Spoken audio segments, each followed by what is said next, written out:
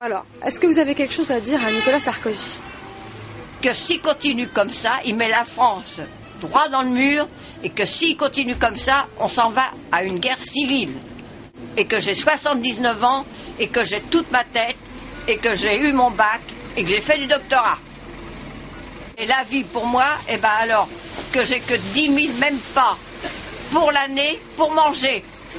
Il faut que je paye mon, euh, mon loyer, l'électricité, le gaz, le téléphone, une mutuelle et la taxe d'habitation. Qu'est-ce qu'on fait avec même pas 10 000 euros par an? Que moi, je voudrais bien avoir ces 25 000 euros à lui par mois.